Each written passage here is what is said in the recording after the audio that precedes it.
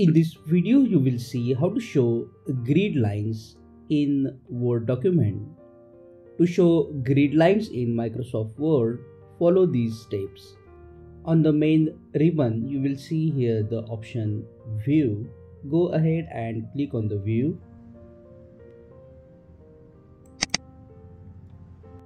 Under the View tab, here you will see the option of grid lines.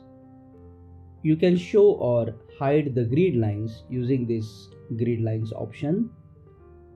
Just check the grid lines option to get the grid lines in Microsoft Word document. And if you don't need a grid line, you can just uncheck the grid lines option to remove the grid line. The grid lines will make it easy for you to align elements and position them precisely in the Word document. Now click on that like button, comment below and let me know if this video solved your problem.